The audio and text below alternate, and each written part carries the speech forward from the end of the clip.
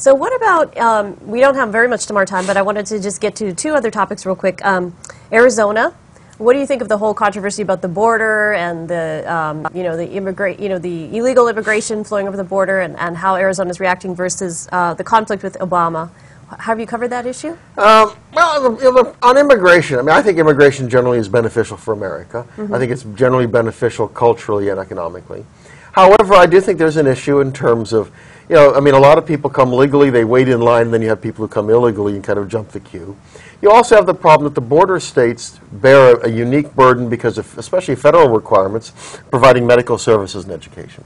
So I think a state like Arizona, I understand why they're upset. You know, their mm-hmm. feeling is the federal government isn't doing its job. Mm-hmm. The federal government is not, you know, protecting the border and kind of have a regularizing process in. Uh, you know, so I think the Obama administration, you know, I mean, there's some questions about whether the uh, Arizona law, I think, is the best approach. Nevertheless, I think the you know, Obama administration has to acknowledge why Arizona is reacting the way it is. They perceive federal failure. I'd like to see reform that allows more legal immigration but tries to regularize the process and reduce the amount of illegal. And I think we need to emphasize who we want to bring in, economically productive people. There are things that I think that we should do as part of a reform process. And I think that, you know, the people in Arizona, I mean, I understand where they're coming from. It may not be what I would have wanted to do, but you can understand why they're upset. Oh, sure, right. Um, in Hawaii, we have a situation where we have the Compact Free S- Association, and so we have a lot of people coming legally, very legally, from Micronesia, Right. and they get the social services here. And I think it's uh, they take one percent of the population and twenty percent to thirty percent of the resources in social public it's, it's resources. the problem of a welfare state. It's very hard to have open borders when you have a welfare state. Right, right. So, what about the role of the Tea Party in the future? What do you see that? Uh, how how much of an impact do you think they made on this election, and and how, what do you see them happening with them in the future? Well, they mattered a lot on, in this election. I mean, they clearly provided a lot of the energy and enthusiasm that helped elect a lot of Republicans to the House of Representatives.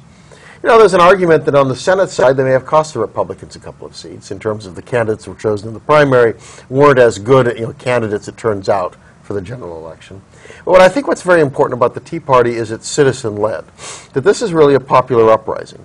And I think there are some questions whether they understand how serious financial cuts are that have to be made. I mean, do they, do they understand that this, we have to talk about Social Security and Medicare? You know, these are issues that I think you know, the Tea Party is going to have to struggle with. But I like the fact that this is not top down. And as much as the Republican Party would love to take control of it, it won't be able to do so. So I'm hopeful for the long term that if the activism can be maintained, whether you call it Tea Party, whether it takes some other form, the only way we're going to solve our problems is to have people organizing at the grassroots demanding change. You know, that's one of my messages to people I talk to here.